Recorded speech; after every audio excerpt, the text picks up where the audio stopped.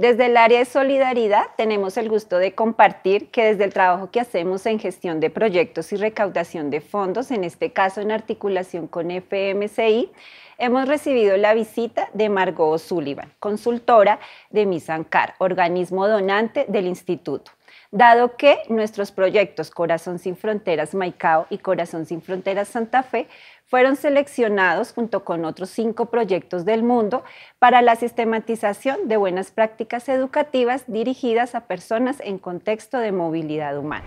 Margot, bienvenida a los canales comunicativos de la provincia norandina. ¿Cuál es la misión de Misean Cara en el mundo? Misean Cara is an Irish organization and they work with uh, missionaries, uh, Irish missionary organizations in 50 countries around the world. I think there's around 88 Irish missionaries, mostly Catholic and some uh, Protestant. And they want to work with the most vulnerable. Their biggest programs are in education, livelihoods, health, and then climate resilience. Hablemos acerca de tu trayectoria en el campo social y educativo. en dónde has trabajado. ¿Cómo ha sido esa experiencia a lo largo de los años? I'm an educator through and through. I started my career as a primary teacher in Ireland. Um, and my interest in development came when I went to work as a volunteer teacher in Nigeria for two years. Um, I can tell you, you, you'll be hearing my age now, but that was in 19, when was that like? 1991. um, but since then, I have gone on to work with um, NGOs, um, with universities, at home as well. Um, and I have lived and worked in 13 countries, but mostly in Africa. So, for example, I was eight years in Uganda, three years in Namibia, and two years in Nigeria. Um, and since then, I've also managed a lot of programs. So then I started to work with um, with the UNICEF and so I was their chief of education in UNICEF Uganda for five years and in UNICEF China for five years. So I managed very large programs there. But my interest has always been in, in the area of education and in the most vulnerable as well, and have worked a lot with, with refugees and with migrant populations. So, yeah. Ankara es uno de los principales donantes para los proyectos sociales que tenemos en Colombia. Principalmente, ¿cuál es el objetivo de la visita a este país? So the main, because education is one of the largest programs for Misean Cara, um, every year uh, Misean Cara commissions a, a study um, and it's to highlight particular areas of work. So Misean Cara is funded by the Irish government, by taxpayers' funding. And so Irish Aid would fund them. And so this, the purpose of every year, so this mission this year is to, um, they picked, Misean Cara picked five countries where they believe there's very valuable work being done to support migrants. So, specifically, we want to look at what are the best practices in different contexts, um, what are the challenges, um, and then so that we'll compile them together so that they can, the different countries can share not just the five countries, but all of the, um, the, the 50 countries where Mission Car works. Durante la visita a las obras sociales Corazón Sin Fronteras en Maicao, y Santa Fe en Bogotá, ¿cuáles han sido esas prácticas sociales y educativas que más te han llamado la atención? The centers provide, like it was really for me very impactful. Um, I was near to tears many times because um, I saw the living conditions and then I'm seeing what the, the project does for the children. Um, you, you see these children with terrible life conditions and then they're being children, they're smiling, they're happy. There was no fear. Um, I was also very, that's why I know that the teachers are doing their work well, that the children were very confident. There was no aggression. Um, and especially in uh, here in Santa Fe, the children come from backgrounds where there would be a lot of aggression, a lot of violence. And the fact that, and the teachers were telling me, that when they came first, they had to do a lot of work with them to help them to how to communicate, how to get on with other people, even saying please and thank you and taking turns. Teniendo en cuenta tu experiencia global, ¿cómo evalúas las estrategias aplicadas, implementadas en Colombia en las obras sociales en comparación a otros contextos en el mundo los cuales has conocido? The, the context of both projects were amongst the worst I have seen and I have worked with and, and been in a lot of uh, refugee communities, especially La Pista. No, I was shocked. Like they've no public services, no water, no sewage, nothing. And then this morning when we walked through here in um, Santa Fe, um, extraordinarily difficult conditions. The the people have to live and pay by the day, ten to fifteen in a room. Maybe there's five or ten families sharing a bathroom.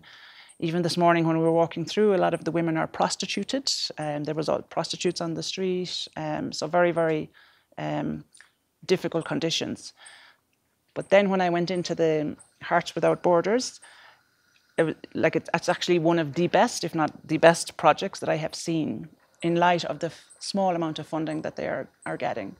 So having worked for bigger organizations and seeing how much money some projects use, the, what, what the brothers and what's happening in Norandina province is significant value for money um, with, with small amounts of money. Um, I just saw so much good happening. The teachers are brilliant, the schools are so organized, there's everything there for the, the children's need and it all goes back to values and love and keep saying love. I was just um, really amazed. And I'm going to talk more with Brother Juan Pablo about the uh, Marist pedagogy. ¿Qué aspectos en Maicao y Santa Fe en Bogotá más te han impactado respecto a las condiciones de vulnerabilidad en las que viven esta población? Conditions were so difficult, so terrible, like my humanity was completely touched. I wanted to reach out and, and help all of the people. I couldn't believe the conditions they're living in. Um, in just this morning, um, I think we were the, some of the parents came, and um, one of the parents, she's YU, and I think because we asked her something about her daughter, and she started crying. And the, she shared the story of her daughter and how she's speaking now. She's 11, in the project, um, but she didn't speak for a year because I think when she was nine or like two years ago, they were traveling in. They were um, attacked, I guess, and the daughter was violated, and that we were just completely shocked.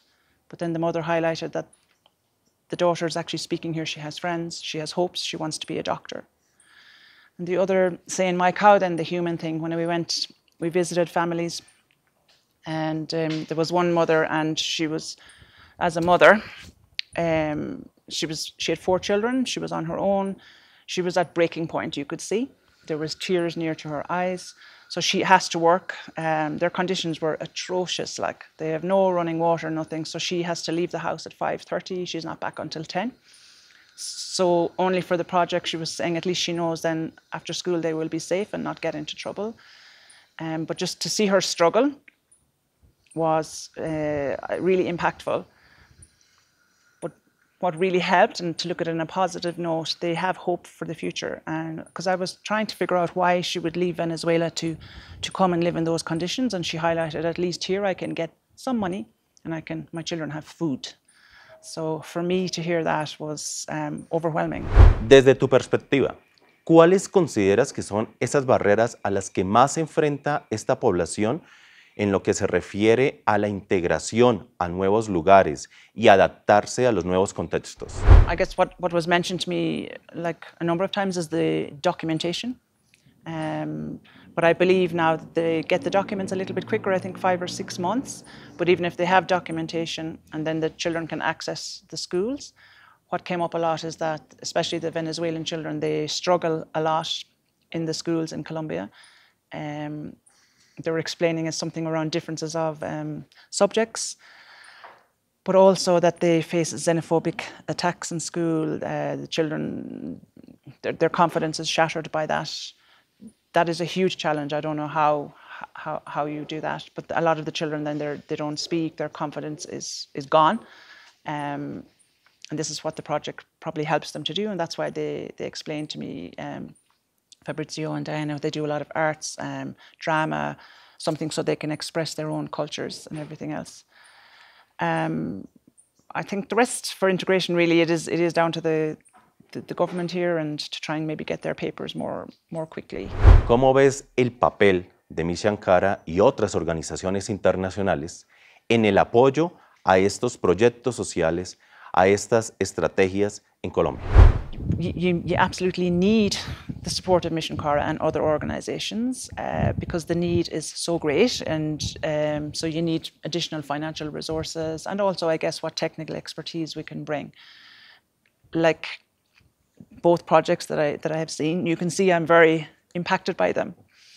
There's like in uh, Maicao, there's four and a half thousand children, uh, and living with in those conditions and with the resources available, we can only help so many. So if not if we're really to try and get further funding, because you have a model that works, it's proven. So Maicao, I think, is there since 2018, like, or four, maybe four years old. So the, you, the model is proven. So now is to get funding so you can roll it out elsewhere. And now it's in, so you have it proven in very remote area like Maicao, and also in an inner city very um, difficult uh, situations. So, yeah. Margot, muchas gracias. También el agradecimiento para Mission Cara, para FMCI, por esta experiencia para la provincia norandina. Y a todos ustedes, estimados amigos de los canales comunicativos de fmsonor.org, Maristas Provincia Norandina, no olviden seguirnos a través de todas nuestras redes sociales y de nuestro canal en WhatsApp. Hasta pronto.